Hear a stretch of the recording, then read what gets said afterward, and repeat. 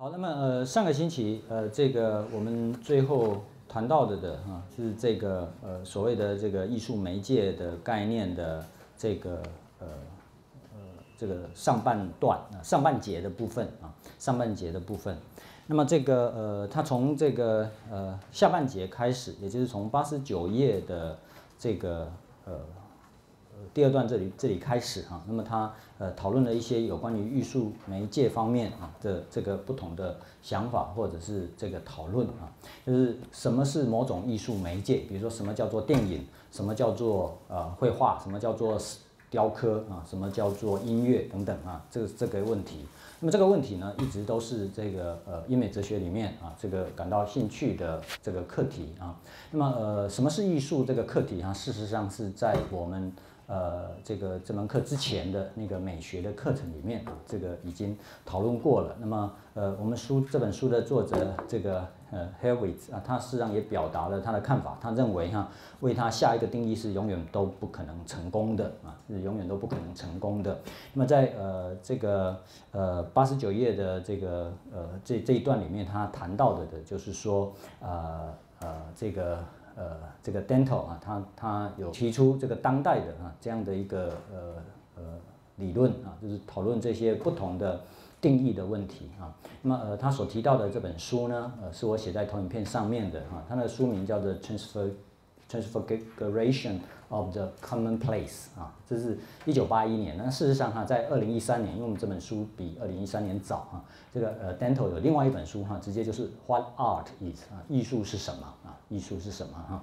或者艺术之所是啊？那么呃，这是比较新的一本这个作品。那么除了这个 Dental 之外啊，那么呃，这个 Stephen Davis 啊，这是呃纽西兰的一个呃美学的。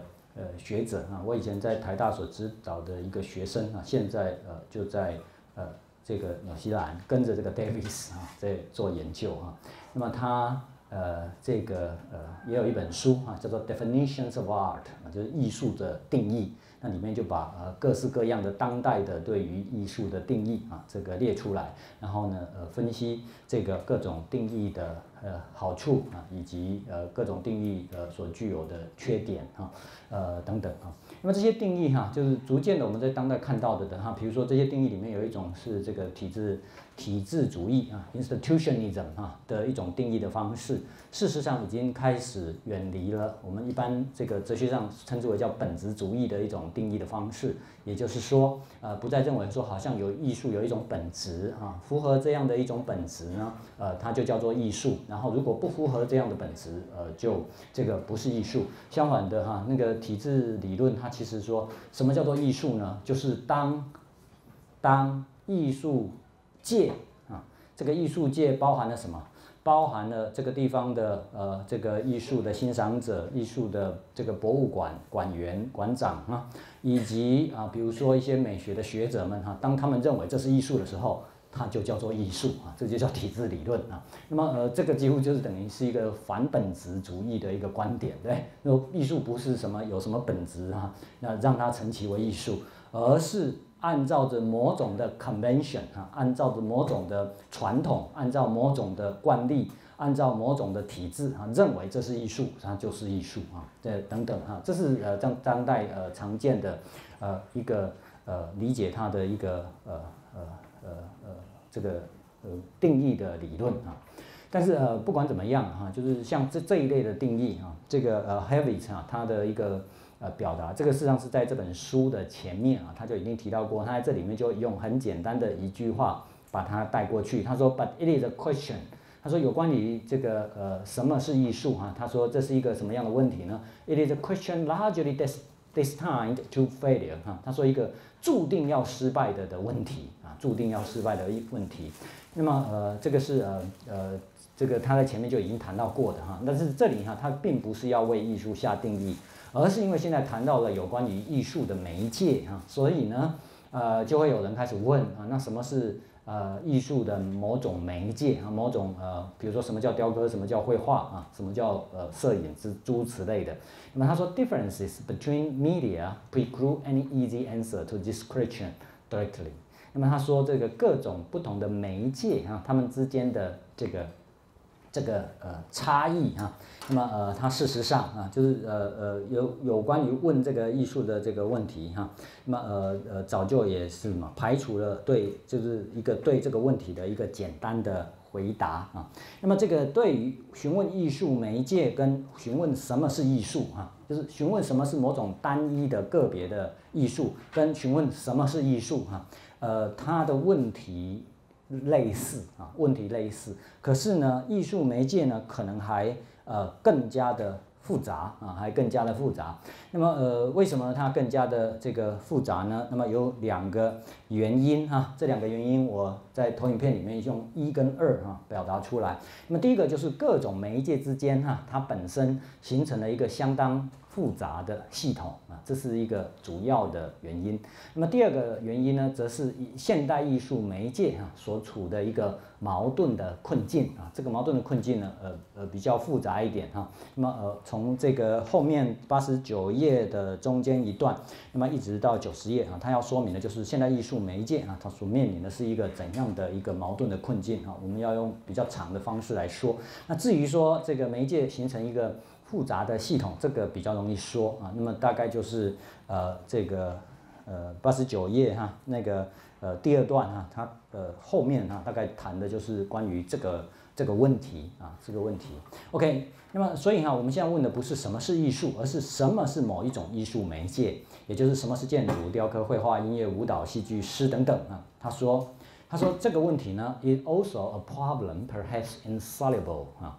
那么也许也是一个没有办法解决的问题哈。那么呃，下面那个一跟二就是说明为什么他们是没有办法解决的问题。那么呃，他在这里面提到说，呃，整个媒介哈，这个各种艺术的媒介，它们本身构成一个复杂的系统。那么一个称之为叫做系统的东西哈，这显示什么？系统里面的各个元素哈，其实不是全然独立的，它们彼此之间是。互相有关系的啊，那么各位了解到下定义这件事情哈，所做的事情所做的是什么呢？是划界限，对不对？Define，to define，其实就是给它画出它的界限来。这是我们在下定义的时候啊，把它的那个呃边界哈画出来。那么在这个边界之内的是它，这边界之外的不是它。这个是呃下定义这件事情哈所要做的。所要做的事情，所以下定义跟问一个东西的意义，问它的 meaning 这不太一样。问 meaning 哈，问的是它的内容。那你了解它的内容，你未必能够清楚的划定它的界限。呃，你清楚的划定界限，你其实未必掌握它的呃意义哈。所以一个人他也许可以怎么样？很清楚的，呃，为什么东西下定义？可是他真的知道那个东西吗？那是另外一件事哈。那么，呃，在我们之前，呃，在就是我以前在这个哲学概论的课常常提到，我说哲学概论的书一开始他什么替哲学下一个定义，对不对？好了，你考试哈，你会你会为哲学下一个定义，你真的就懂哲学吗？大一的学生，对不对？哲学概论第一堂，然后哲学下一个定义，他就知道哲学是什么？他还不知道。他其实对它的内容是模糊的啊，他只看到什么这个定义里面所画的那个边界而已。至于里面的内涵，那个是要什么？他在里面不断的学习哈，不断的经历这些哲学的东西，然后逐渐的掌握它的意义啊，他才比较清楚啊，才比较清楚。相反的，你可能很清楚一个东西的意义是什么，可是也许你不见得能够什么下定义。比如说我突然问你说某某同学哈，我请问你什么叫做一张桌子？对。你当然知道桌子是什么，对不对？但突然要你下定义，你怎么下啊？你可能没有办法下定义啊。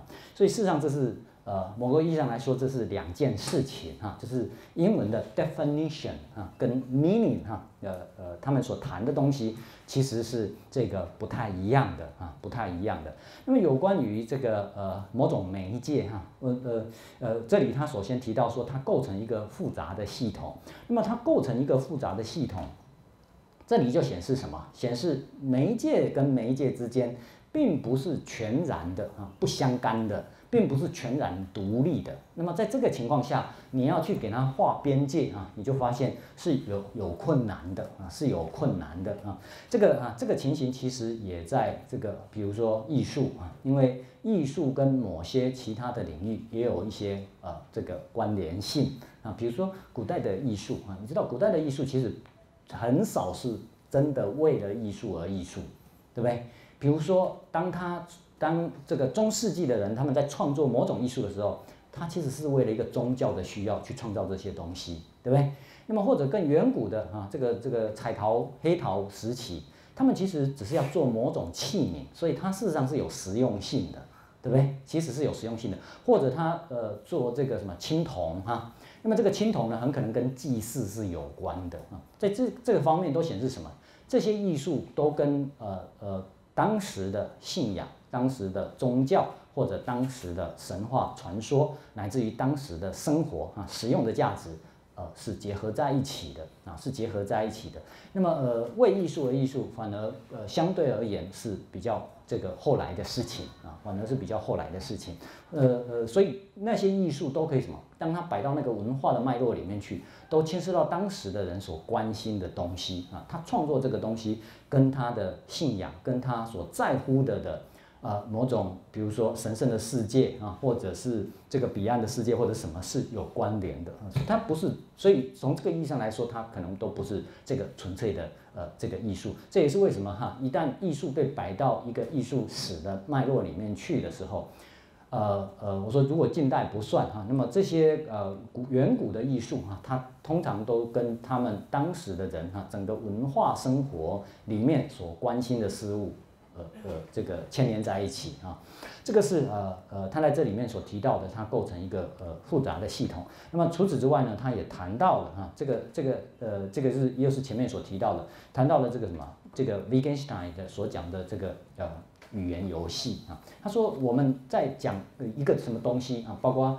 呃，前面在第六页那里哈，就是谈到那个呃所谓什么是艺术的时候啊，他就引了还引了很长的一段话啊，这个 Wittgenstein 的话啊，那么讲到这个所谓的这个呃语言游戏哈，那么在那里哈，他其实讲到就是什么叫做游戏？游戏这个字眼是人啊，game 这个字眼是人所创创造出来的，对不对？所以当我们问说那什么叫做 game 的时候呢？你就发现，你不论怎么下定义哈，都呃都会有所遗漏啊，或者是都会这个什么超过了啊，那个定义可能什么超过了这个 game 这个词的这个呃范围，因为我们认为可以下定义是通常我们认为它有某种本质在啊，这个所谓的有某种本质，就是说它之所以为它，是因为它具有一种什么样的内涵，所以呢，只要具有这种内涵的东西都是它。比如说，我们认为叫做 game 的啊，叫做游戏的，那么它一定有某种内涵啊。但是呢，你会发现另外一种游戏也许就不见得有这种内涵。比如说，你说 game 一定什么有娱乐性，有些 game 是没有娱乐性的，对不对？你说 game 呢是一种竞争啊，有些 game 是没有竞争的，因为什么？可能是单人玩的游戏啊，对不对？单人纸牌呀，哈，呃呃，或者你自己你自己在这个电脑上面哈，这个很无聊的这个移动一些什么东西啊。呃呃，那么呃，甚至有一些运动啊，它可能也是某种的这个 game 啊。那么在这个情况下，你找不到一个什么，一个能够称之为它的这个本质的一个情况。那么这个 Wittgenstein 哈，他在这个呃语言哲学上面啊，他这个下了很多的功夫。那么他的提到了，就是如果你呃有这个书的话啊，在第六页啊那一段引文的最后面，他提到的就是这个所谓的家族相似性。那么他在这个家族相似性里面哈，他要呃呃，说到了就是什么？他说一个字眼啊，其实呃，不见得一个有一个共同的特征在。其实它不见得有一个共同的特征在。那么这种情况呢，他说就好像在一个家族里。这个家族指的是什么？就是呃阿公阿妈哈，这个呃呃生了爸爸哈，那么外祖父外祖母生了妈妈，对不对？然后爸爸妈妈这个生了呃你以及呃你的兄弟姐妹啊，那么这里面有一个家族的相似性。可是当我们说这个家族的特征是什么的时候，你发现你找不到一个特征啊，而可能什么？呃，有很多各种不同的特征啊，比如说，在呃这个假设你们有七个兄弟姐妹，对不对？在七个兄弟姐妹里面，可能这个呃你说呃鼻子都特别高啊，但是呢，可能有一两个鼻子并没有特别高，可是他们看起来还是像兄弟姐妹，为什么？因为他们可能在另外一个特征上面跟这个家族又有一些呃共同的地方啊，又有一些共同的地方。那么呃在这样的一个情况下哈，那个下定义就是什么？寻找一个。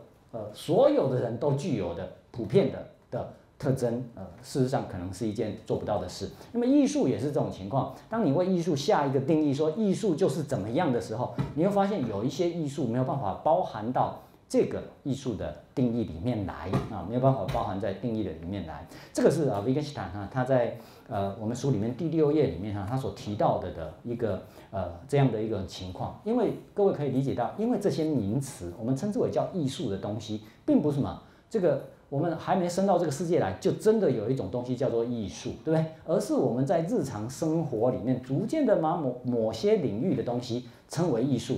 但是我们称它为艺术的时候，我们并不是什么，先为它下一个明确的定义，然后呢，就是在这个定义，按照这个这个定义里面的内容，它们是艺术，其实不是哈，其实也只是什么一个很含混的一个想法或概念，然后呢，就把它称之为艺术。等到要下定义时候，发现啊，你根本就找不到一种共同的特征。那么 art 这种情况是如此啊，这个呃，这个这个。这个呃，game 哈，这个字眼也是这样，因为字、语言对文字啊，概念是人发明的，对不对？那么你你发明一个东西，然后你就说这个东西是有它的本质的，这个呃，已经呃，在某个意义上来说是道果为因了。这个各位可以呃清楚的理解，因为如果我们发明一个语言文字啊，那么它就有某种本质的话，那我发明很多文语言文字啊，对不对？我就说啊，有一种东西啊，叫做。这个呃，比如说叫做嗯呃呃阿飘啊，不阿飘已经有意义了，对吧？阿叉哈，那么一种叫做阿叉的东西哈，叫做阿叉的东西，我说它的本质是什么啊？这没有太大的意义，为什么？这只是人人造出来的啊。那么呃呃，所以哈，当我们去追究这些语言的时候，因为哲学在某个意义上来说哈，几乎会变成就是一种语言游戏，因为哲学就什么，就塑造很多的名词，对不对？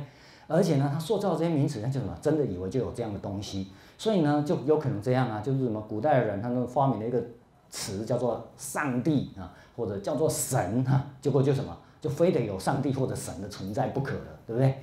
那么我们从那个康德哈，他对于这个呃传统形上学的批评，就可以看到，这这个康德其实呃呃批评的这就已经很类似是这样。他说，我们讲上帝哈，或者我们去用哲学的论证证明上帝。只是证明出了上帝的概念的存在，而不是证明了真的有一个上帝的存在。因为真的有一个上帝的存在是什么？是把上帝叫出来啊，然后说哦，上帝真的在眼前，而且有大能，对不对？然后把我这个什么挥一挥衣袖哈，我就变成了呃一只小鸟哈，或者我就变成一个什么哈，这太厉害了，对不对？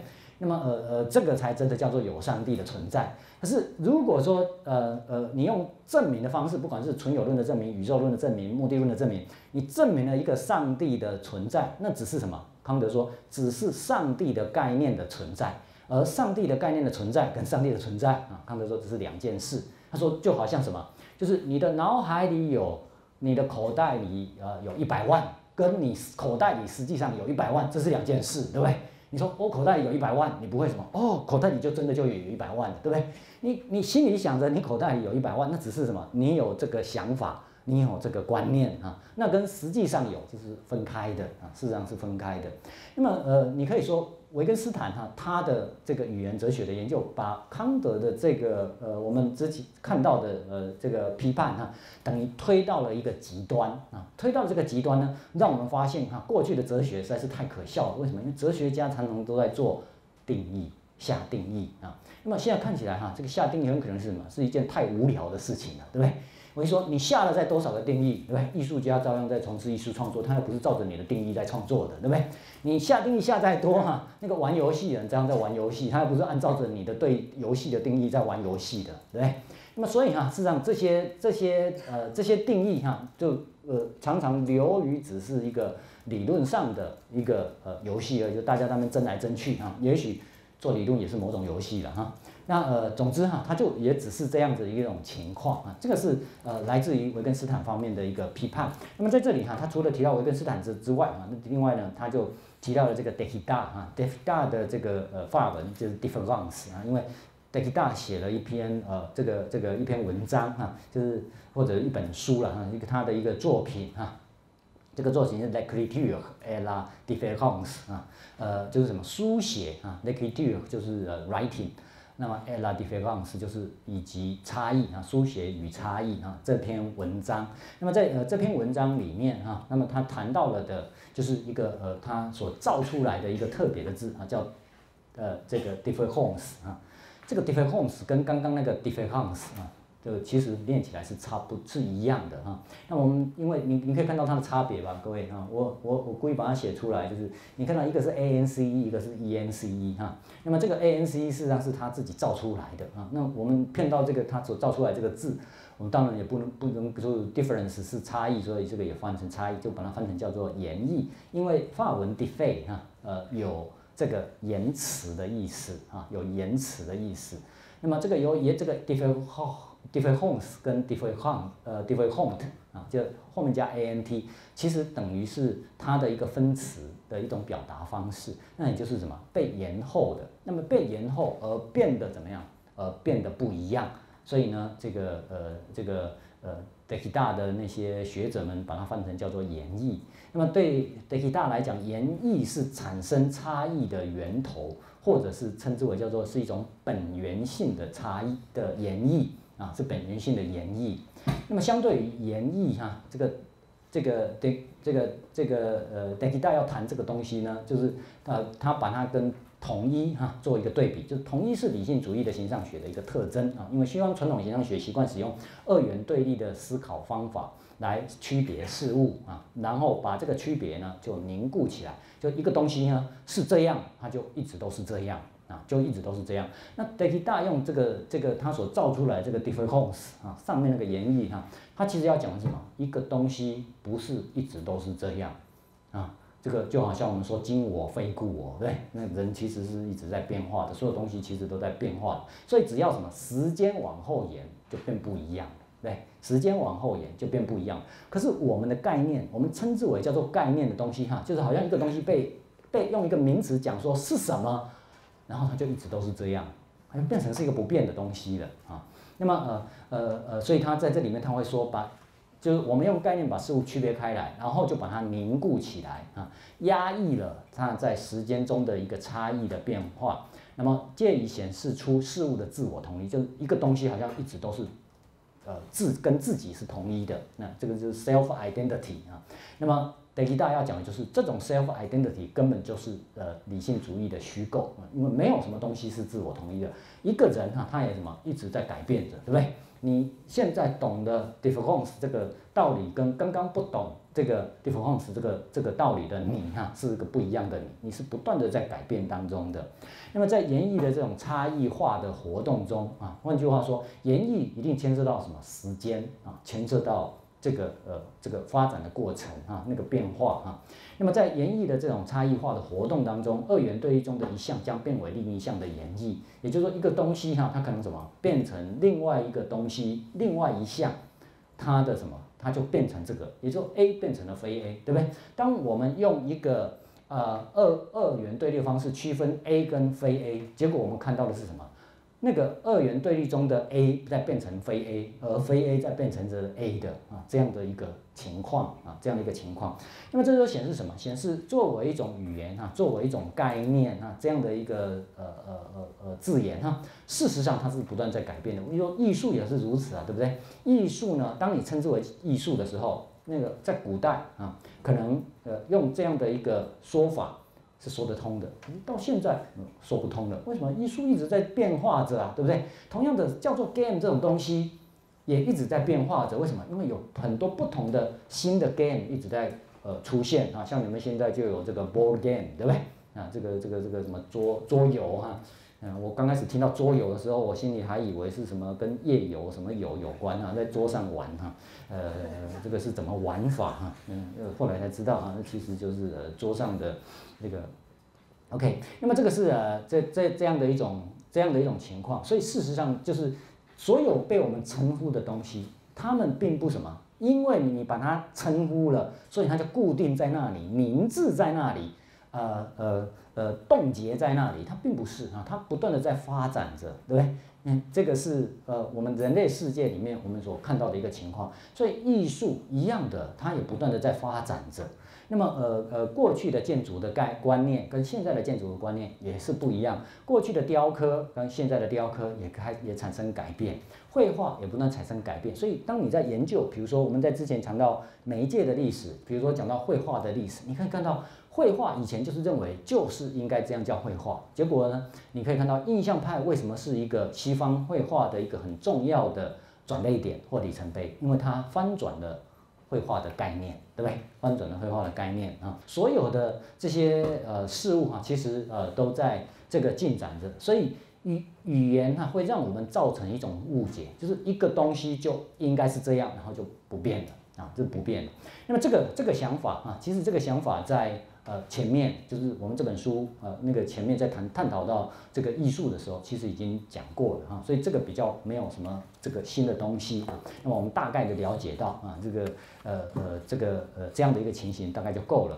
那么呃呃进一步要谈到的呢，呃是这个第二点啊，也就是现代艺术媒介啊，它处所处的一个这个矛盾的困境。那么这个是在八十九页啊，这个中间的这一段。那么他呃谈到这个呢，就呃画。就这个呃呃这个话就就讲长了啊，所以呢，这个八十九页下面一段哈，就开始又从希腊开始讲起啊，然后呢，这个呃一直讲到九十页啊，那么呃甚至讲到九十一页啊，那么整个哈其实在讲的就是现代艺术媒介的一个特点。那么这个特点哈，这个或者这个所谓的矛盾的困境是啊怎么样的一个矛盾的困境呢？他呃在这里面他提到。我我把呃，这其实是一句话而已哈，但是我把它拆开来，而且你可以看到我在同语片里面把它变成第一点跟第二点，因为我要让你看到是是这两点啊所构成的的一个困困境啊。他说，It was this modern system of art，就是现在我们所看到的这个现代的艺术的系统，怎么样呢？Each embroiled in the others。wishing to appear in the guise of the others 啊，他说每一种的艺术的媒介都缠绕在其他的艺术的媒介当中啊，这是我们现代的艺术媒介。是现代其实什么很少有纯粹的某一种的艺术的媒介。当你在看啊，比如说你在看好莱坞的音乐剧的时候，你知道你看的不是什么纯粹的音乐，对不对？那里面还有什么戏剧？对不对？那里面还有呃各种其他的这个呃艺术的一种表现哈，在当中，因为比如说服装道具啊，那个都是非常的费时费事，而且花很多金钱呃投注在上面的。那么，所以它其实需要非常多各种不同的艺术人才，然后这个呃做出这样的一个豪华的场面、好听的音乐。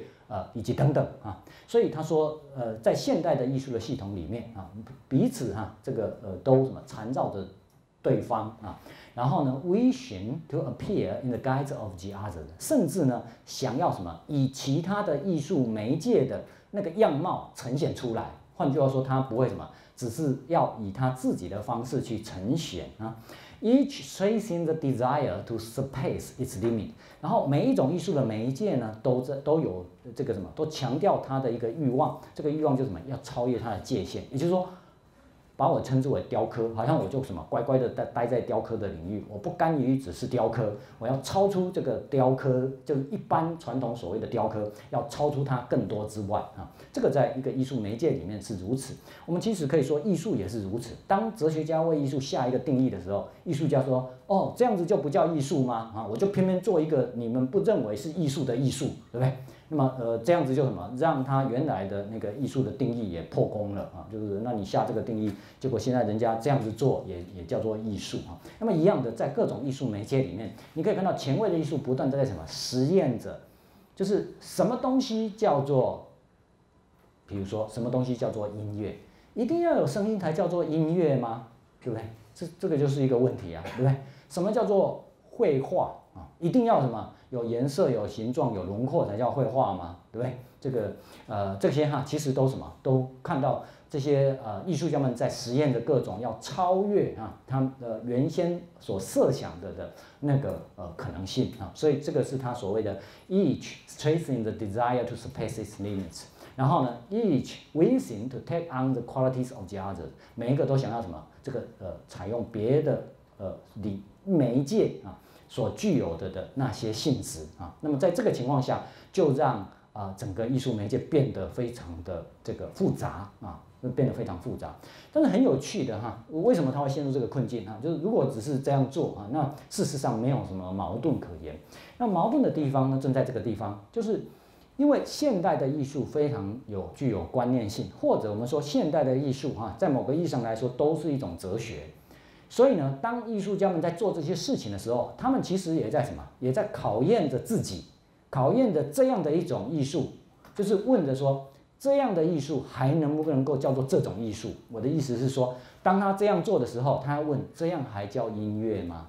这样还叫雕刻吗？或者这样还叫什么吗？啊，以及等等啊，这个呃这样的一个情况。所以第二点，他说：But also each anxious about identity。那每一种艺术的媒介都什么？都忧虑于他自己的同一性，他都在问我是谁，对不对？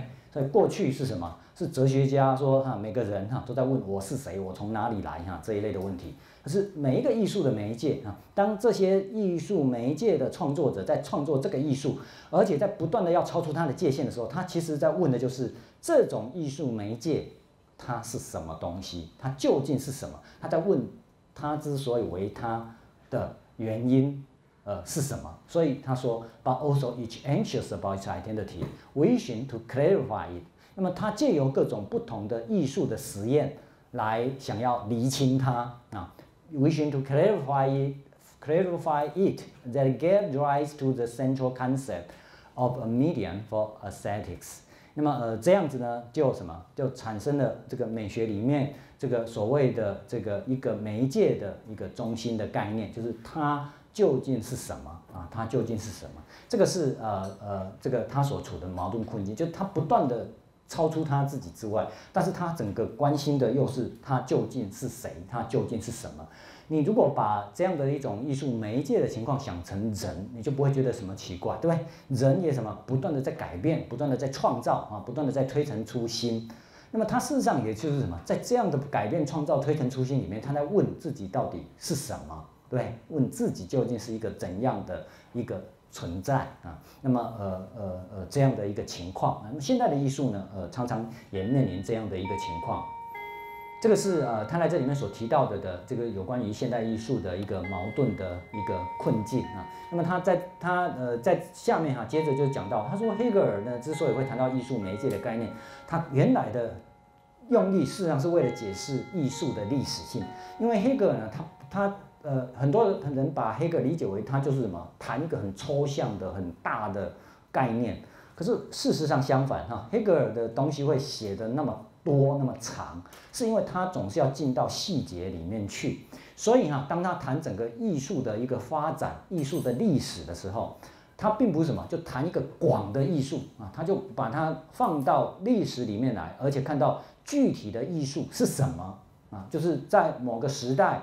那个艺术的呈现是以什么样的样貌？比如说雕刻的样貌，在另外一个时代是以呃这个呃绘画的样貌啊，或者是音乐的样貌啊，就好像我们之前谈到唐诗宋词或者什么，就是他谈什么个别的具体的各种不同的艺术性。那么在这样的一个情况下，当他讲到艺术，其实他讲的是什么？是各个具体的艺术媒介，各个具体的艺术的领域啊。那么他事实上谈这些各各个具体的艺术领域。就是为了要解释整个艺术的发展的一个历史性，这个是我们在这个黑格尔的美学里面所看到的。而但是当代的人哈，当艺术媒介这个概念变得重要之后，当代人就在问的就是，那么这个艺术媒介到底是什么哈？那对黑格尔来讲，这些艺术媒介其实就是所谓的艺术的，在不同的时代，在不同的文化里面所呈现出来的的外貌啊。那么他们的内在都是什么？就是都是所谓的。这个呃艺术啊，所以艺术这个字眼其实是抽象的，对不对？就好像精神啊，就是在黑格尔哲学里面精神这样。那么我们能够看到的并不是精神，我们能看到的并不是艺术，而是看到是各个具体的艺术的媒介。就好像我们看不到精神，但是我们可以看到什么精神的表现啊，精神的表现，我们可以看到具体的人类啊，他的文化制度创造什么的，呃，这些就是这个精神的表现啊。那么呃呃，他的所以他的这些艺术媒介的概念，事实上是为了解释艺术的历史性啊，这一点是可以理解的啊，是可以理解的。呃，黑格尔这个呃媒介的看法哈，其实不是他第一个提到的哈。那么他在同时代比较早的时候。呃，包括 Schiller 或者是 Lessing 哈，他们是都已经提出来了。那么你可以看到 Lessing 啊，他差不多就是康德的年代了。那么呃，但东当然他们全部都是十八世纪啊，黑格尔是生于十八世纪的。后半夜，一七七零年哈，那么 Lessing 是一七二九年希勒是一七五九年哈，那么黑格尔比他们来得晚。那么在那那在 Lessing 的著作或者是在希勒的著作里面，其实都谈到了这个不同的艺术的领域啊。那么呃，Lessing 呢，他的一个很著著名的作品呢，叫做这个辽狂啊，辽狂。那么辽狂啊，这个呃，事实上是一个艺术作品的名称啊。那有时候呃，在呃这个呃，这个中文界啊，有时候就翻译成叫拉奥孔啊，叫拉奥孔啊。那么呃，这个辽狂的这这部作品啊，它有另外的一个名称啊，叫做呃，Oder über die Grenzen der Malerei und Poesie 啊。那么这个呃，Malerei 就是 painting，呃，Poesie 就是 poetry 啊。所以它事实上是什么？在问诗与画啊。的界限啊，诗与画的界限，就是何者为诗，而何者为画啊，何者为绘画啊？这个是呃类型的这个辽狂这本著作啊所写的。那么辽狂，我刚刚说它是古代希腊的一个艺术作品，这个就是这件作品啊。那么呃呃，这个作品呢，呃讲的事实上是荷马的这个神这个这个神话故事啊。那么里面呢提到这个辽狂啊。他跟他的两个儿子，然后这这他们呢，这个父子三人啊，被一这个呃一只大蟒蛇哈这个缠住了，然后大蟒蛇呢就把他们三个父子啊这个这个呃。这个卷死了啊，这样的一个情况啊，那么写在那个诗里面的时候啊，那整个的场面啊，非常的看起来就读起来啊，就觉得非常的惊险啊，非常的惊险。可是当他被艺术家用雕刻的方式表达出来的时候，仍然保有呃这个希腊的雕刻的那样的一种特色，就是什么？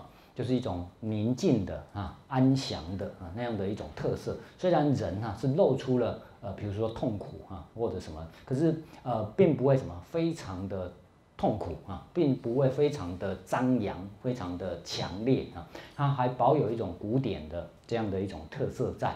那么呃，所以哈，Lessing 他实际上是用这个呃这个辽旷的这个故事啊，他说他在诗里的表现跟在雕刻里的表现啊。他的所谓的诗与画的界限，那个画的界限，其实他在这边拿的是一个雕刻的作品啊，来呃做一个比较。那么我们之前也提到过啊，比如说金庸的小说，对不对？用写的，跟实际上这个搬上呃电这个电视的荧幕或者电影的荧幕那个演出啊，那里面你可以看到，因为使用的媒介的不同，而有呃不同的。表现啊，而有不同的表现。那么这个是我在辽孔的这件作品啊，这个作品摆在这个呃意大利罗马的这个梵蒂冈啊，因为梵蒂冈这个国家在罗马这个城市里面啊，呃这个这个城市的西边啊，呃占了其中的一一一一一块区域啊，然后就就叫做一个国家，所以这个是一个在城市里的一个小国家啊，就是在那里哈，当然呃我们先把人拿掉啊。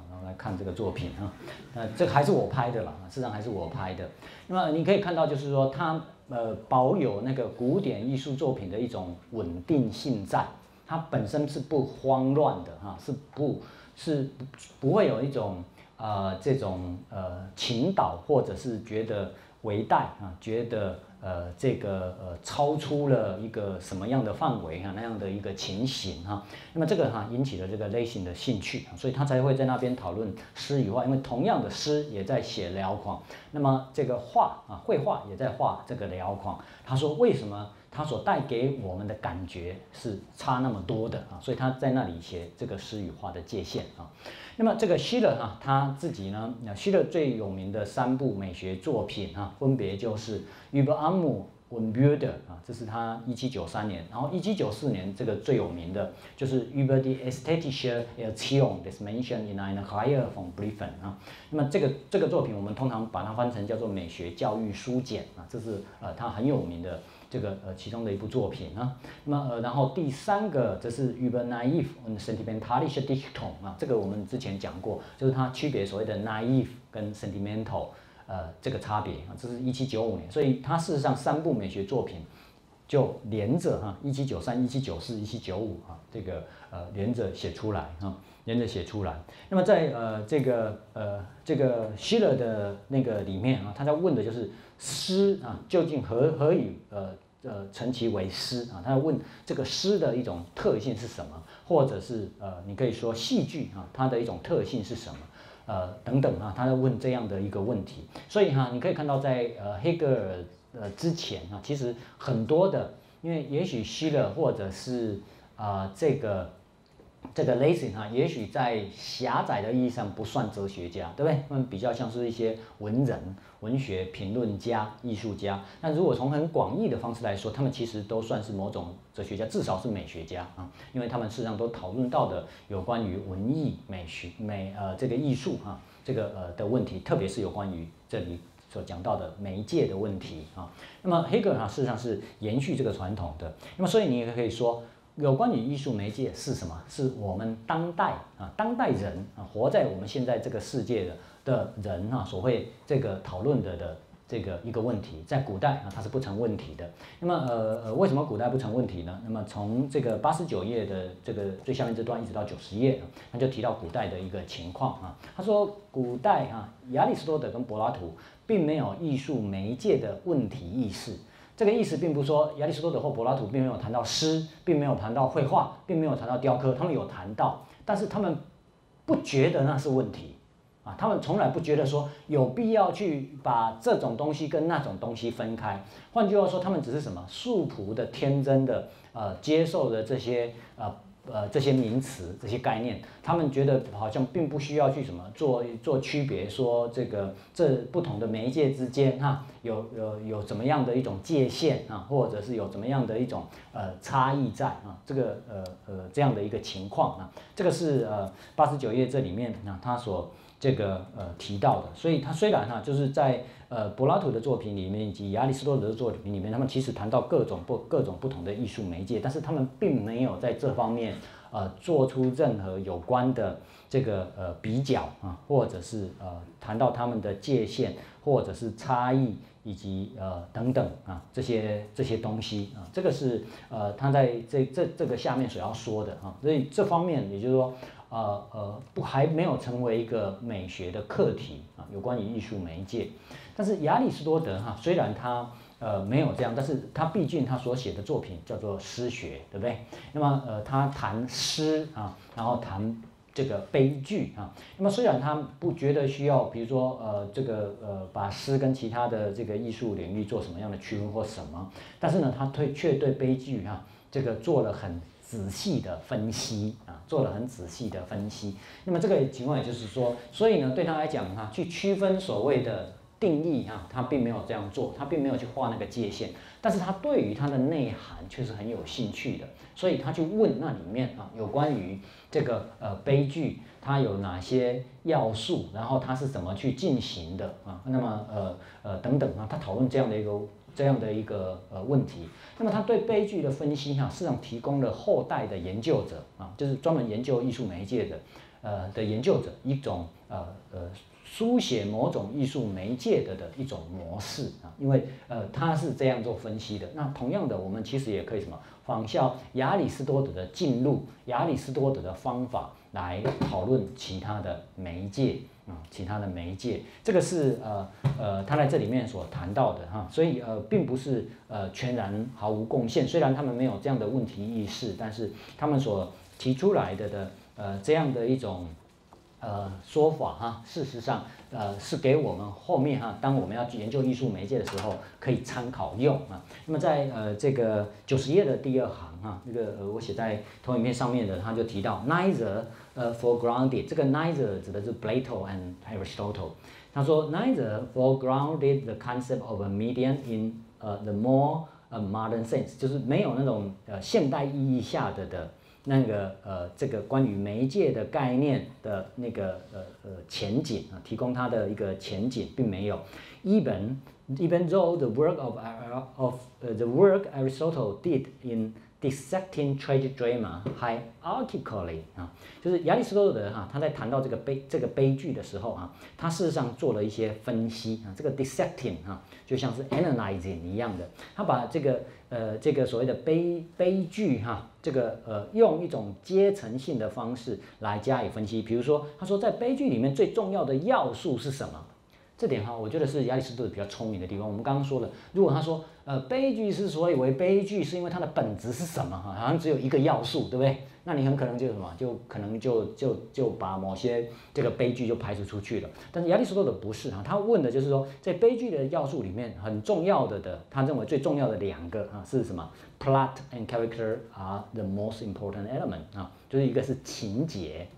就悲剧里面很重要的一个东西是情节，然后另外一个东西是什么？性格啊，性格啊。那么呃，情节跟性格造成的这个悲剧里面呃这个主要的要素，但是亚里士多德接着又谈到啊，还有次要的要素啊，比如说呃在那里面啊这个。呃呃呃，里面所使用的的这个语言啊，然后这个呃这个演员的服装啊，以及等等啊，那些可能是比较次要的要素啊。那么这个就是呃呃呃亚里士多德他所做的的这个分析啊。他说这个呢，proved a template 啊，template 就是一个模式、一个模范啊、一个样式。for the later 为后代啊，或者 later modern study of a medium 啊，为后代的这种媒介的这个呃研究啊，这个提供了一个呃模范或样式啊，这个是呃他在谈到古代的的一个情况啊，这个所说到的，所以艺术媒介当然是一个什么，是一个现代的问题。那么我们再回到这里来啊，我们刚刚要谈的是呃现代艺术媒介的一个矛盾困境，对不对？为什么呢？因为这个问题意识现在有了，而且呢，当我们开始去分析它的时候，我们就碰到这样的一个问题。我们所看到的是什么？艺术家们不断的在要去突破这个媒介的局限，这个媒介的范围。可是呢，他们也不断的在询问的，就是我是谁，对不对？一直在问的就是这个艺术媒介是什么啊？呃，这样的一个情况。那么，所以哈，在这里面我们会看到的就是他呃讲到哈，在这个呃九十页的这个。呃，下面这一大段啊，那个一开始的时候，他提到，他说，他说，呃呃，我们所看到的的哈，这个呃一个情况就是 central stand of modernism and the avant-garde 啊，就是所谓的现代主义，还有所谓的前卫艺术，他们呢，呃，怎么样呢？他说，呃，这个，呃，他们都 make a，呃，make a racket 啊，就是都在。争吵一件事情啊，make a racket out of pushing out beyond 呃 extend norms and limits，对不对？就是什么，把艺术哈这个一一直往外推哈，推出什么现在的呃范围啊，现在的一个规范或者现在的一个界限啊，然后呢 probing 啊，不断的在尝试 how far an art can go by pushing it further 啊，就是艺术可以。借由这样子一直推推推，到底能够推得多远？And doing so by even more centrally, uh,，foregrounding the concept of a medium 啊。那么呃呃，然后借由这样子哈，他们在问的就是，所以这样的一个媒介，它的概念是什么啊？这个是呃他所谈到的的一个情况。所以他不断的要要把那个界限推啊，这看能推到多远。然后也在问这个媒介究竟是什么哈？那么这个这个等于是一个什么艺术的实验？所以他在这里面他不断的用这个所谓的 artistic experimentation 啊来形容他一个艺术的一个实验。他说这个这个艺术的实验呢，is for the avant-garde，就是前卫的艺术家们啊，他们做这个艺术的实验，在乎的是什么呢？About purity，是要问的就是它的纯粹性，也就是他要问的就是这个艺术媒介。它的一个纯粹性是什么？当它没有参干呃这个其他的媒介的时候，什么是所谓的纯粹的音乐，对不对？纯粹的音乐就是不是像音乐剧啊，或者是歌剧啊，呃，纯粹的音乐，当它不含有其他东西的杂质的时候，音乐是什么？是声音吗？啊，还是什么？那么呃，他在后面哈，他又把这个称之为叫艺术实验的炼金术。因为你知道炼金术其实也是像在做某种的实验一样而炼金术要炼出什么？要炼出纯粹的金子嘛，因为里面有太多的杂质啊。所以他们在做的这些艺术的作品啊，你可以说啊，事实上啊，事实上也是他们整个实验的过程的一部分。所以你去欣赏这些艺术作品啊，你是什么？等于参加他的实验啊，成为这个实验里面的呃其中的一只白老鼠啊。然后呢，看看看你会有什么样的反应啊，以及等等诸如此类的。而他们在那里面实际上是要练出这样的一种媒介的一个。纯粹性来啊，念出它的一个纯粹性来。那么在这里面，我就举一个例子哈，就是这是呃这个 John Cage 啊，这个很多人可能是很熟悉的啦，对不对？他的一首乐曲叫做四分三十三秒啊，四分三十三秒。那么呃这首乐曲呢，他要问的呃，你可以说他要问的是什么叫做音乐，对不对？他让音乐哈变成了我们所谓的天籁，也就是说没有声音，是不是也能够叫做音乐啊？啊这样的一个情况，这是一个需要解释说明哈。呃，才能够这个呃了解的，但是让很多人都已经知道 John Cage 的这首曲子，因为他至少已经在音乐史上面，呃，这个呃是一个很重要的作品啊，他把音乐带到了一个没有办法想象的一个情况。那你可以看到的就是，它完全就是符合一般的音乐的那个呃这个场景，对不对？管弦乐团指挥，所有的人都盛装啊来欣赏这首四分三十三秒的音乐。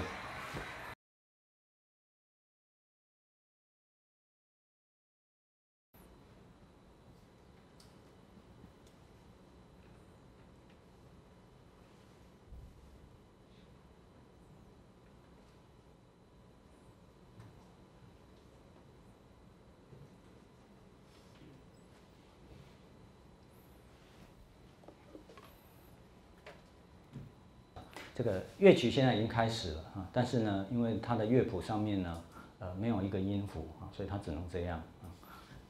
那所有人也只能这样。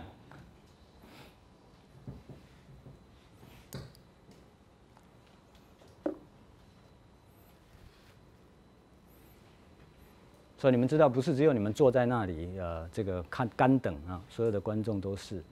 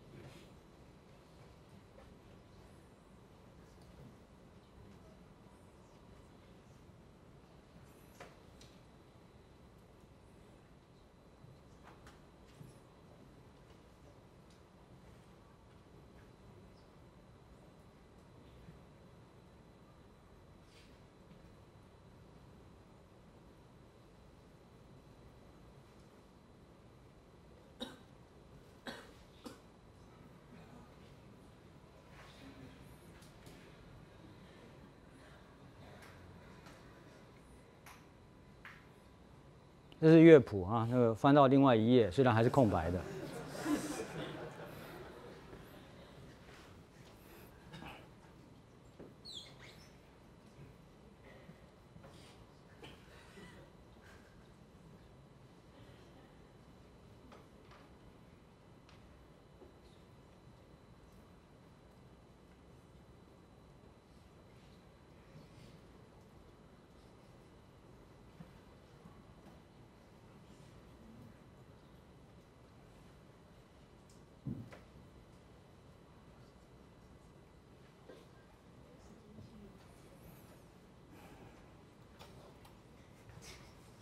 这是第二乐章。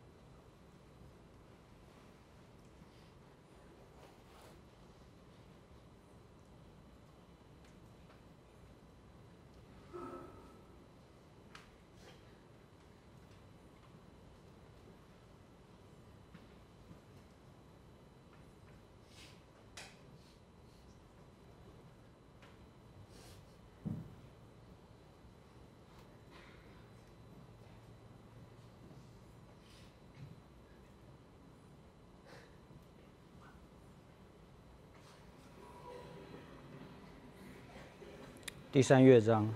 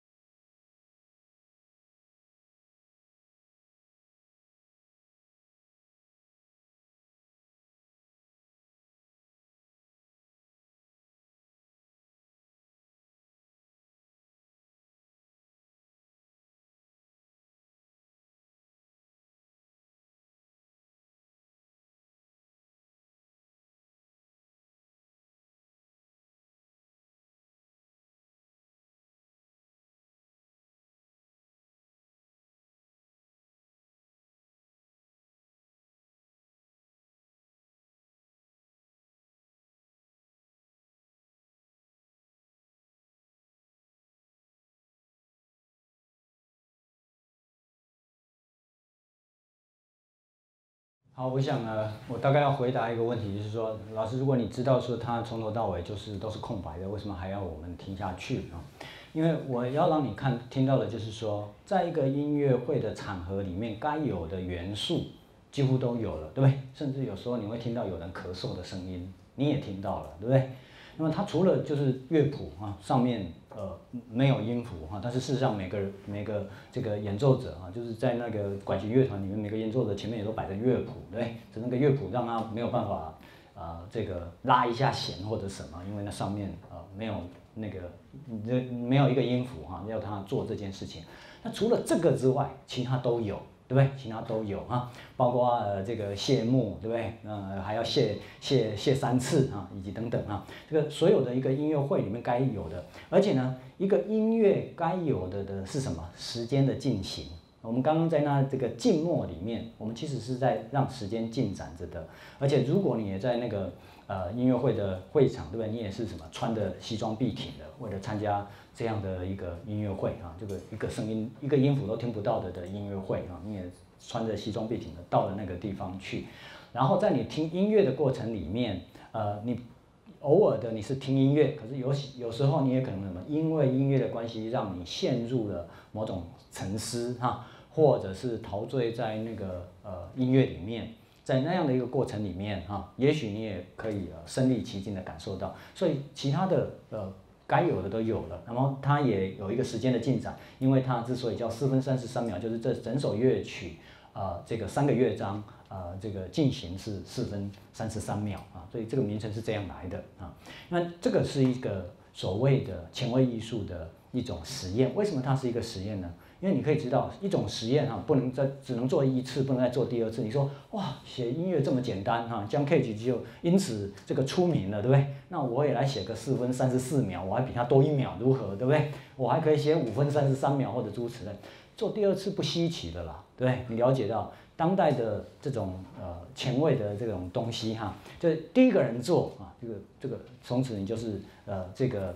呃，艺术史上的一个伟大的人物，像 d u c h a n 把一个呃这个小便池，对不对？当做一个艺术作品啊。那么第一个人做啊，这个非常伟大啊，他从此这个出名了。第二个哈，第二个在做啊，完全一文不值啊，因为不需要再做这样的一件事情了。那么这些哈，事实上都在什么？都在都在挑战着我们对音乐的。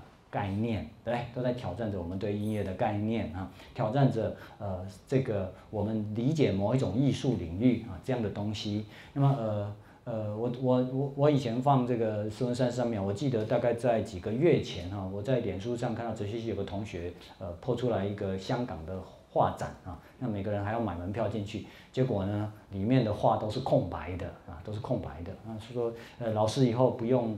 他还写说，老师以后不用用用江 K 级了，对不对？就是就是呃，用这个画展当例子哈。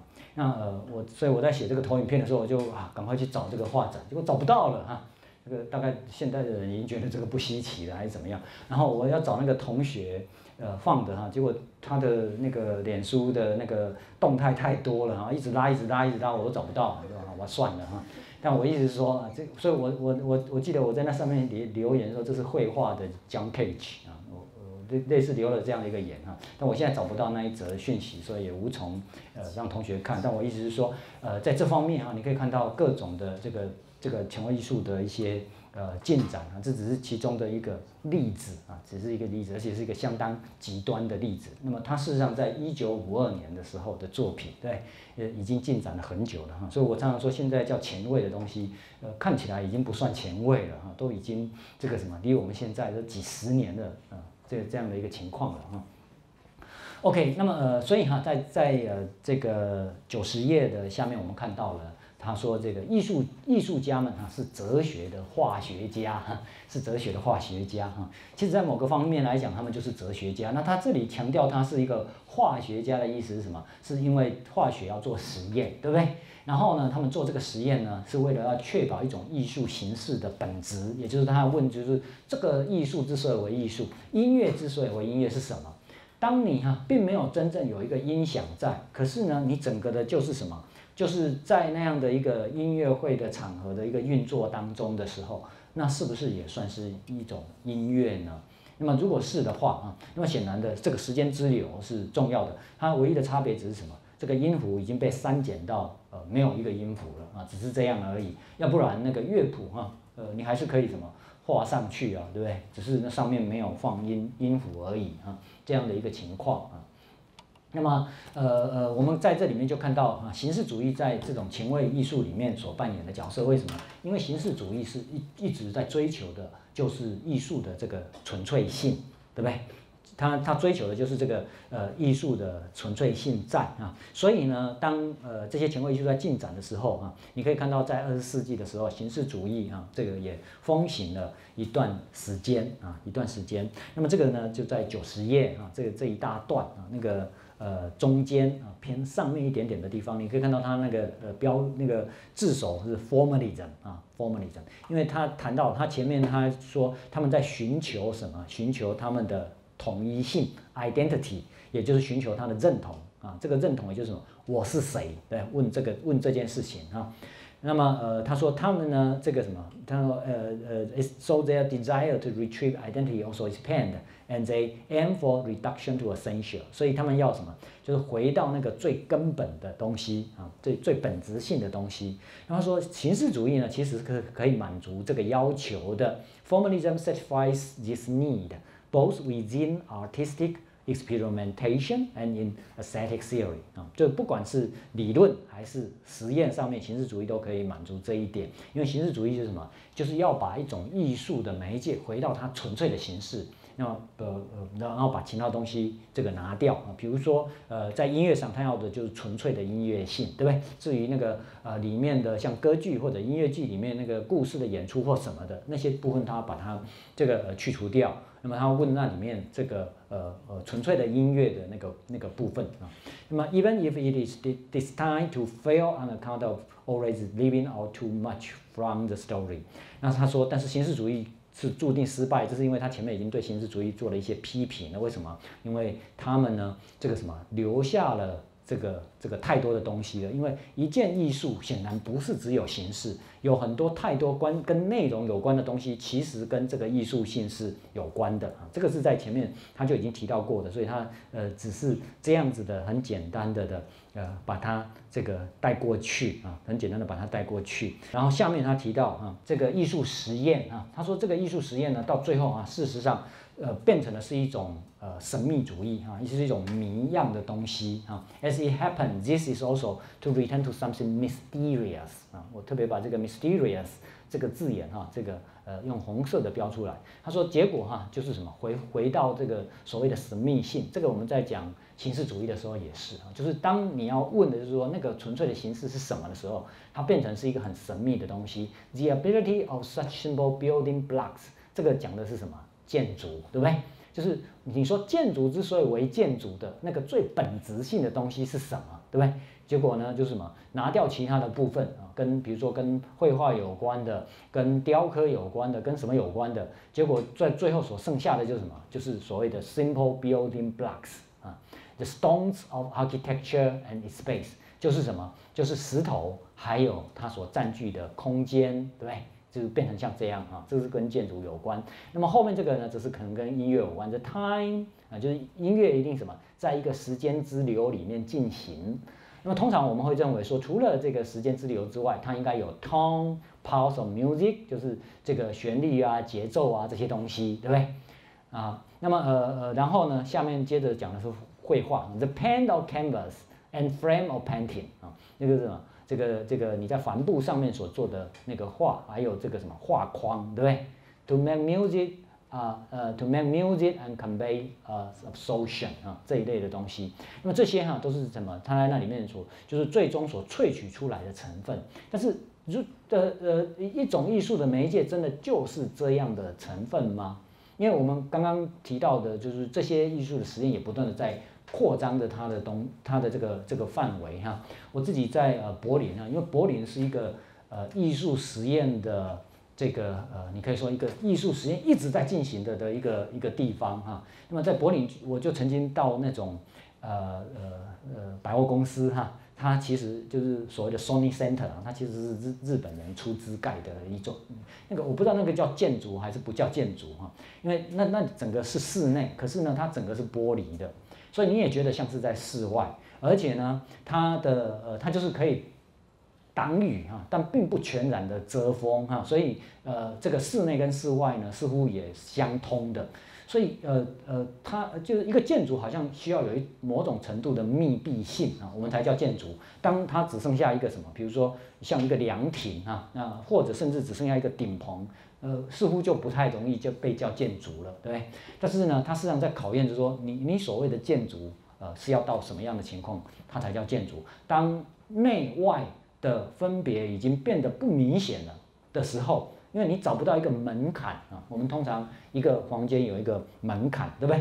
一个 doorway 啊，一个出入的一个一个呃区别内外的地方，它没有那样的一个可以区别内外的地方的时候啊，这个非常的具有一种公共性啊，就是呃呃从哪里都可以进入，从哪里都可以出去，就很难去呃呃这个什么，就是去定位这样的一个呃这样的一个设施是不是叫做是一个啊？建筑物啊，是这样的一个情形。那么一样的哈，就大学通常要一个什么围墙哈，围起来。就是任何学校，我们从小习惯是这样。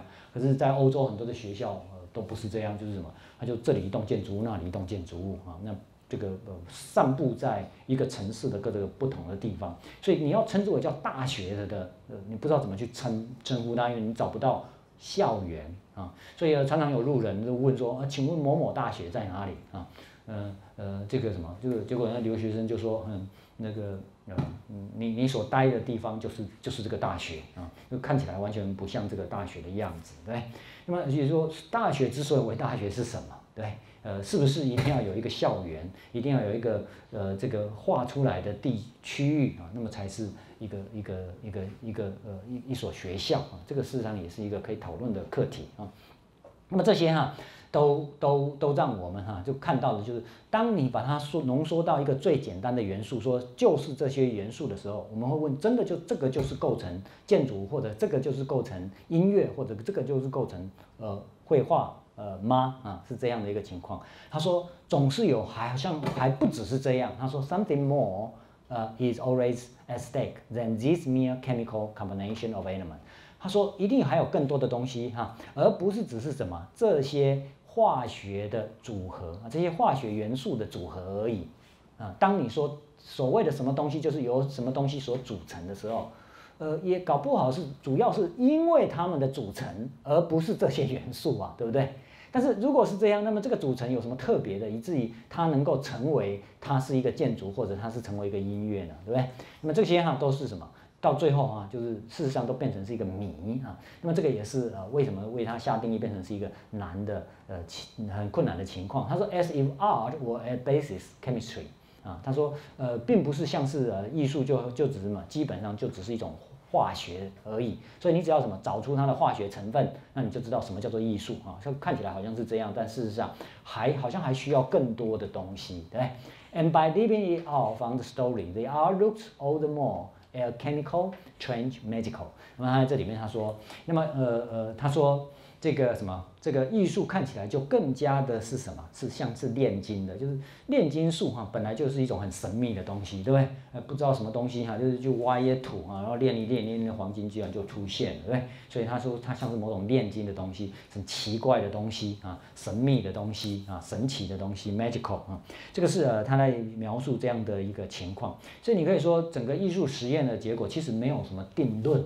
啊，但是呢，却拓展了人的这个眼界啊，让人看到了更多的可能性啊。那么也让各种艺术的媒体啊，不断的这个呃这个呃产生更更多的这个呃改变啊，或者是扩张了它的范围啊，这样的一个。情况啊，这个是呃，他在这里面所所所所要说的啊，所要说的。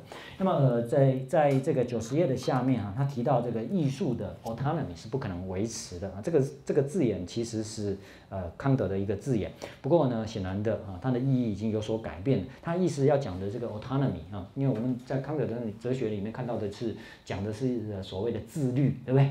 那这里不是什么艺术的自律，而讲的是什么？是艺术的一个。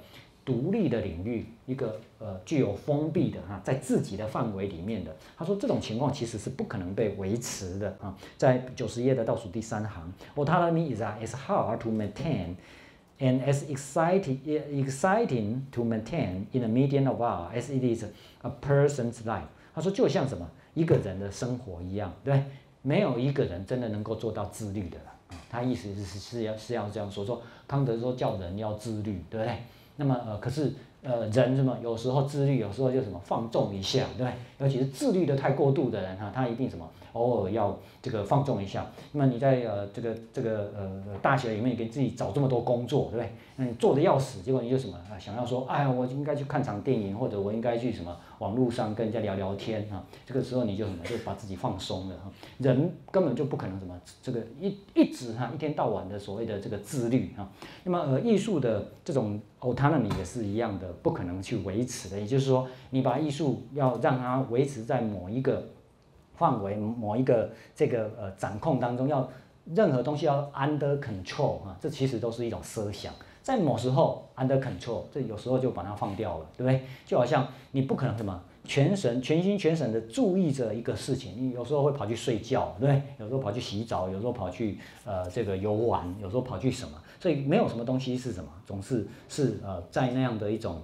呃呃这个呃呃控制当中，因而它不可能什么一直保持着它的这样的一种所谓的统一性啊。那么呃因此哈，如果要谈到这个。这里的这样的一种结论，你可以说这实际上没什么结论。我们看到的其实是什么？更多的可能而已啊。这是呃他在这里面所要说的。那么呃，在这个九十一页哈，那个呃呃这个呃中间的这一段啊，他谈谈谈到了进一步的，就是所谓的新的艺术媒介的出现。这个也是我们当代呃所遭遇到的的呃一个情况啊。那么这些艺术媒介的出现啊，就是从最初一开始是摄影，对不对？这个是在这个呃呃这个呃印象主义的那个那个时代啊，那个时候这个摄影术已经出现了，对不对？然后呢，这个摄影所带来的还只是一种静态的东西，但是已经对绘画啊产生了很大的一个影响了，但是并不是就就此终了。再来呢，出现的是什么？是动画，对不对？是电影出现了。然后电影出现了呢，电影毕竟是什么？就是偶尔你去电影院看一次的东西。等到电视出现，那不得了，就是什么？你日常生活里面，它都呃一直在这个呃这个这个呃每天都可以看得到，对不对？然后到最后是网络啊，就我们现在已经变成是一个网络的时代了啊。我知道有很多同学已经怎么不需要看电视，因为所有的东西都在网络上面啊。那么他说艺术哈在这里面哈，这不断的被推陈出新，然后产生出呃这个。呃，新的东西来，那么在这样的一个情况下面，当然就可以什么？这个借由这样的一个推陈出新的过程，而产生更多的呃新的艺术的媒介啊，艺术的媒介。那么这些都是什么？古代的人所无法想象的啊，就是这样子的东西也可以做成所谓的艺这个艺术啊。那么他在这里面提到，每一种新的艺术的媒介都有它的因缘啊。因缘哈，那么在这里面他举了一个例子，就是有关于这个电影啊。他说，film was for years mis misrepresented as a kind of theater。他说，电影一开始的时候被理解为就是什么戏剧电影在某些方面啊的确是很像戏剧的。可是不久哈，当电影渐渐发现它比戏剧这个自由的多了，对不对？戏剧什么人站在舞台啊，对不对？我我我我顶多跳一跳，对？我不能飞哈。电影我可以让它飞啊，对不对？我就可以有什么 Superman，对不对？然后呃什么 Spiderman、Batman 哈，呃各种什么飞来飞去的什么都可以出现，对不对？那么一旦我能够掌握到电影居然有比舞台更多的这个可能性的时候，那么呃电影就自由了、解放了，它就可以什么产生更多的新的东西了。可是这电影在一开始的时候并不是这样，所以那个镜头是呆板的，它就什么？那个镜头就什么？就是就是对着那个。那个那个演出的人啊，那么呃几乎是嘛，几乎是呃不动的哈。那演出人好像在演舞台戏一样，就对着镜头讲话哈，像我现在这样子哈。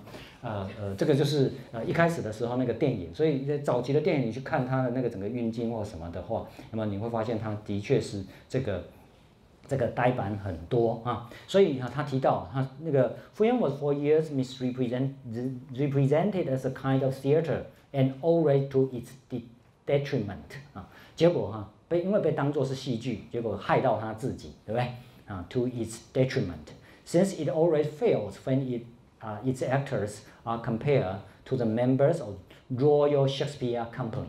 他说，因为他把他自己当作戏剧，所以他怎么去跟什么？比如说他说那个什么皇家莎士比亚协会啊的那个演出比，对不对？或者去跟什么萧伯纳啊的那个那个那个演出相比？呃，甚至跟什么希腊的悲剧啊的那个故事相比，它远远的比不上。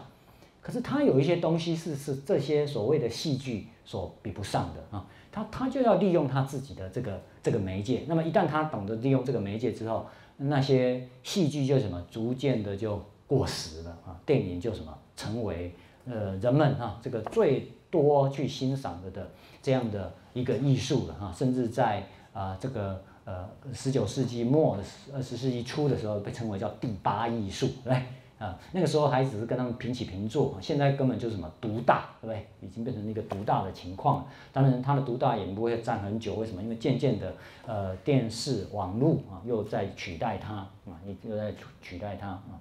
那么除了是这个之外，哈，就是这个是电影的发展。我们我们之前讲到说，任何一个媒介都有它的一个发展的过程，而且在一直一开始发展的时候，它都什么？它都可能是在模仿另外一种媒介啊，以一种另外一种媒介的方式在。看待，那么你可以看到电影就是被另外一种媒介方式看待，以为说只是多个摄影机在拍它而已哈，但后来发现不是这样啊。好，那么呃，他下面哈提到这个电影，他说，It took some time for film criticism to come to realize silent films step to opera。他说，早期的那个默片啊，其实呢有很多东西是来自于这个什么 opera，来自于歌剧的啊，来自于歌剧的。那么这些来自于歌剧的东西哈，这个呃，这个他这里写了很多了，对？谈到什么这个咏叹调啊哈什么的这些，他说歌剧里面有这些东西哈，他会什么？那个歌剧的那个演出，因为他要唱歌的关系，会把它拉长。默剧哈，其实也常常有这种把它拉长啊，然后定格在一个一个一个某种的这个表情或什么上面啊，固定不变的的一个情况啊。那么这些哈都是什么？电影这个呃艺术出现的时候的因缘啊。所以你要整个的掌握这个电影的艺术啊，你就什么回去看那个早这个最早期电影的发展，包括这个默片的发展，以及他们。跟这个歌剧的关系啊，所以这些哈大概什么，就是其他的媒介有时候对它形成某种限制，有时候呢只是提供了它灵感，让他知道呃这这样的一种东西要去怎么样的进行表现啊。那么在呃这个九十一页的中中间这段的下面，他又提到 d e c i d a 的这个 difference，呃这个字眼哈，就是这样的一个媒介，它不断的呃事实上是不断的在发展在进展着的哈，所以一个媒介因而也不能够什么。就是说，一个媒介是什么，它就固定在那里了。相反的，它其实也是什么，不断的在产生着呃这样的变化的这样的一个过程啊。好吧，我们就先谈到这个地方。那么下礼拜从这个九十一页的下面这段开始。我们今天呢是要从这个九十一页的最下面这段开始，那么也就是说，呃，很快的会结束这个第三节，然后要进入到这个第四节啊。那么的第四节呢，呃，事实上就呃牵涉到这个呃黑格尔的这个表现这个概念啊的呃在当代的这个使用啊，我们会谈到两位英美的哲学家。一位是英国的 Collingwood，一位是美国的 Dewey 啊，呃这两位，呃，在他们的这个呃美学或者是艺术的思想里面啊，都包含了这个呃对于这个表现啊这一词这个词的这个呃想法啊。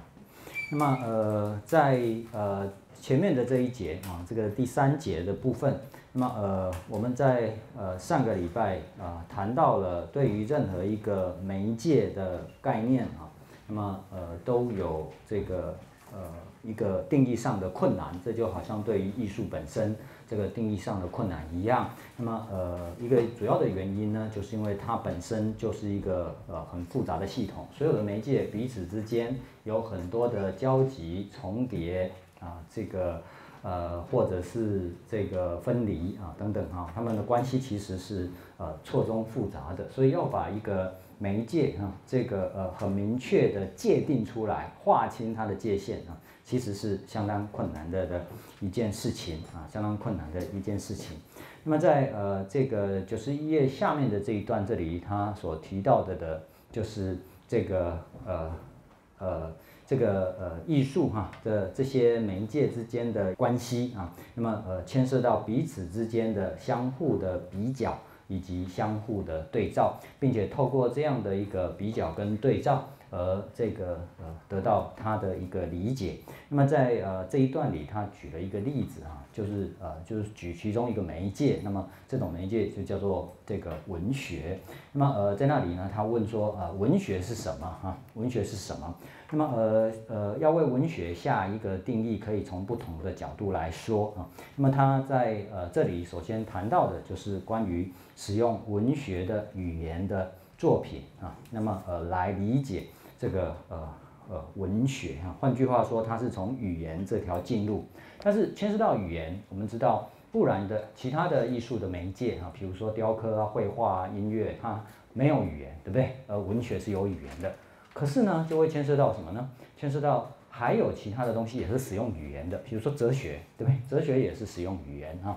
如果你熟悉海德格哲学，对不对？那么事实上哈，这个。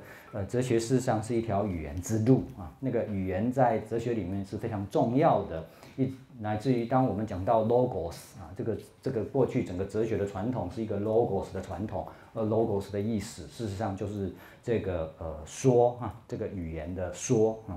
那么呃，所以哲学的传统其实也是一个语言的传统。那么所以当你用语言的方式去界定文学的时候，那么这个我们马上必须要解决一个问题，就是哲学语言跟文学语言呃有什么不同？要试着去呃回答这样的一个差异。那么在这样的一个情况下面哈，你就会发现说呃去谈这个呃语言方面的的不同哈，呃变成是一个难题啊，这是一一方面。那么第二个呢，则是呃，我不从语言下手啊，那么我就从别的方式下手啊。那么这里的别的方式呢，其实就是亚里士多德的方式啊。那么这个呃亚里士多德的这个方式呢，各位可以在九十一页的倒数第六行看到啊。那么他说，from the one associated with Aristotle 啊，这是呃从亚里士多德那边所得得得到的的的这个。呃呃，一个这个定义的的一个方式啊，亚里士多德当然他在诗学里面，他其实主要要定义的是诗啊，可是可以广义的哈放在整个文学的这个脉络里面。那么他强调的是什么呢？就是他呃在这个诗里面，或者我们说在这个呃文学里面，包含有两个很重要的要素啊，在其他的别的要素里面啊，亚里士多德认为最重要的要素就是。这个情节啊，另外一个呢，则是角色啊。这个在九十一页的倒数第四行啊，他提到这个 plot 就是情节，and character 啊，这是角色。那你当然，你想到这个，你当然就说，哦，这跟哲学非常不一样，对不对？哲学通常不会有情节，对不对？啊，除非那个哲学家他的一种叙叙事的方式啊是比较特别的啊，比如说像是黑格尔或者像尼采或者。呃，怎么样？那才会出现类似像是情节的东西啊，或者是这个后现代的一些这个呃这个这个哲学家们啊。那么呃呃呃那呃，可是这个所以才会有这个情节的问题，跟角色的问题。否则哈，这个哲学的论述一般而言是不会有这个情节跟这个角色的。但是呢，一旦我们这样来定义，那么呃呃，我们现在又跟另外一件事情又又混淆在一起了，什么呢？历史。对不对？因为历史里面也有情节，对不对？啊，history 跟 story 啊，其实没有差很多的，对。那么历史的事件跟文学的事件是有什么不同？这又是一个另外的一个问题啊，就是呃，所以你当你从某个方面下定义啊，你用语言作为一个进入，结果呢，呀，文学是可以跟比如说雕刻、绘画、音乐分开了，可是它可能跟哲学变得很近啊，你就必须想办法让它跟哲学。有所区别啊，因为他们都使用语言。那么现在呢，如果你像亚里士多德那样的定义，这个呃呃，在定义上面啊，着重在这个呃文学所具有的那个情节跟角色这个要素上面，那么你就必须要这个呃呃说明呃这个呃文学跟历史哈有些什么样的不同啊。那么这些呢，大概都是。这个在下定义的时候啊，会面对的的一个问题啊，面对的问题。那么他拿这个文学当一个例子啊，来做一个呃说明。也就是说，你从某个方面切入啊，那我们就可以什么？就是找到你所切入的那个地方哈，会产生这个呃混淆不清的，或者是呃会跟其他的东西啊这个呃相同的，那么呃这就称之为什么？你那个定义里面的一个困难啊。OK，那么了解这一点的话啊，那么呃，我们再回到这里来，就是有关于媒介的这个定义的问题。那么最终而言，他要强调的的哈，事实上这个在前面九十一页他已经强调过了，对那么他在这里面又要强调，就是所以整个的艺术的各种不同的形式哈，那些呃媒呃媒介，它们本身其实构成了一个非常复杂的系统。那么在这样的一个复杂的系统里面啊，没有一个东西是什么，它的界限是呃完全呃一清二楚的啊，没有办法是完全一清二楚的。而且事实上哈，这个道理完全可以放在什么，在我们的生活里面各种事物的定义，因为事实上在我们的生活里面也没有任何的一个事物是完全孤立的，然后它的界限是非常清楚的。呃，我们会觉得是可以定义，常常一个主要的原因是因为我们所使用的语言概念啊，语言的概念本身哈就是一清二楚的。可是只有概念是一清二楚的，现实并不是一清二楚的。这个事实上是语言跟现实之间的一个不对应的地方。因为我们的一个概念啊，这个你在学哲学的过程里面啊，尤其是这个学逻辑的，那么呃一个东西如果它是 A，那么这个概念。那么在它之外就是非 A，那么要不是 A，要不是非 A，它几乎不允许什么有一个呃在 A 跟非 A 之外的，因为排中率马上把它排除了，对不对？所以不是 A 就是非 A 啊。那么呃一个概念是什么？那么呃剩下的就不是它，呃这个是一清二楚的。可是，在现实的情况里面啊，其实啊并不是如此啊，其实并不是如此啊。所以哈，当一个人哈，他这个什么长久的，尤其是长久的学习哲学啊，一直都在这个语言的世界里面打转，那么他很容易的什么，就陷入到这样的一个呃，要不是这样，要不是那样啊。就这个，我觉得尤其是那种搞逻辑的，对他那个嗯那个脑筋已经被逻辑这个洗脑过了哈，他就认为哈，就所有的事情都是这样。啊，很很很奇怪的哈，就是说他的那个整个逻辑是这样，他并不见得是把它用到生活上来。我就说他的那个生活里面啊，生活里面太多感情啊，太多什么哈，那些都是不逻辑的啊，那些都是不逻辑的。可是如果一种逻辑，它几乎没有用办法用到生活里面去啊，那我就不知道呃呃这样的一种哲学哈，还有什么样的用处啊？因为如果哲学完全不能够处理这个呃我们生命当中所面对的的所有这一切的话啊。那所以哈，他在这里面他又强调了呃一一次这个所谓的它是一个 complex system 啊，那么呃呃那他说 from various perspectives differences and similarities take on different forms and different aspects of media are highlighted 啊。 那么呃，在这里面他提到有很多同，有很多异啊，这个事实上是什么？呃呃，在这个真实里面哈，就我们所面对的一个情况。那么在这样的一个情况底下哈，那么我们是不是说呃，因为它没有办法是像呃一个概念那样的明确，所以我们完全对它不可解呢？并不是如此啊。事实上，我们呃呃，即便无法定义，我们在日常生活里面，我们对一切的事物都有一个某一种的理解在。那么这种理解哈，现在的问题就在这里，就这种的理解从来不是单单单针对着这个事物的本身而理解它，而是透过它跟其他事物的关联来理解它啊，透过跟其他的事物的关联来理解它。那么这个也是他下面啊所要说的的啊，就是正是透过一个彼此的关系哈，而让这个东西。得到一种理解哈，呃，各位可以在书里面看到这个九十二页这这一节哈，那个最后，it is only when literature。现在他说，我们如果要定义文学，我们怎么去理解它呢？他说，只有当文学，when literature is located in relation 啊 to philosophy，but also history，就是把它跟哲学相比较，把它跟呃这个呃历史相比较，对。那么或者呢，他说 painting。But also film，就是跟这个绘画相比较，但是不只是跟绘画相比较，而且也跟电影相比较。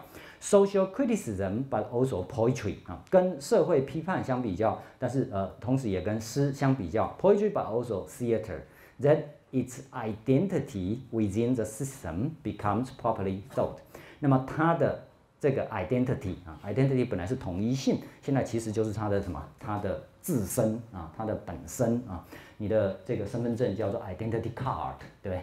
呃，所以就是什么？它的身份啊，在这个系统里面，身份才能够什么被正确的思考。换句话说哈，当你在问一个哲学的问题，说这个 x 是什么的时候，其实 x 是什么哈，不是透过对 x 本身的界定，而事实上是透过 x 跟其他事物的关系而被界定。同样的，当你问我是谁的时候，你不能够把自己关在啊一个呃孤立的空间里面问我是谁，那样的我哈呃事实上是没有什么太大意义的，因为你之所以为你哈，事实上是在你跟其他人跟这个世界其他的事物啊，在所有的这些关系里面，呃你的这个 identity 啊才被显化出来啊显化出来，因为它就变成不是只是单单他呃。就我们平常口语里面所说的，他家的事情，他自己个人的这个事情，就是我是谁是我自己个人的事情，而不是这样的。因为你是谁，其实正是因为你生活在这个世界，你跟这个世界的关联，你是谁的兄弟，你是啊呃哪个团体里面的一员啊，你是呃哪一个呃，比如说哪一个这个，比如说脸书里面哪一个这个呃网网页里面啊，其中的一员哈，你的好友是谁？以及等等，你是在这里面哈，而找到你自己的这个定位的啊，所以哈，它事实上要透过什么，跟其他的事物的呃关系啊，被摆到那样的一个错综复杂的系统里面去找到它的定位，而不是啊，而不是啊把其他的东西都拿掉，然后就说这个东西是什么啊？这个是因为那样的一种想法哈，其实是这个太本质主义了哈。这个是呃他在这里面哈，这个谈到呃这个呃对于一个东西哈那个呃那个理解啊，那么在这样的一种关系里面啊，其实也很难真的就是下一个呃字面上的定义啊，相反的它其实是什么？建立在各式各样的关系上的了解啊，大概我们只能够这么说。因为如果定义是划界限的话，你可以发发现到，其实要划界限是很困难的。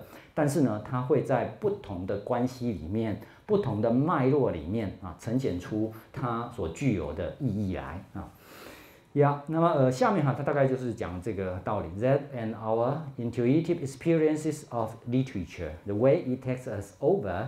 Uh, into its story, bring us characters base time in rapid reading, which should not be forgotten essential to what we know to be true of it.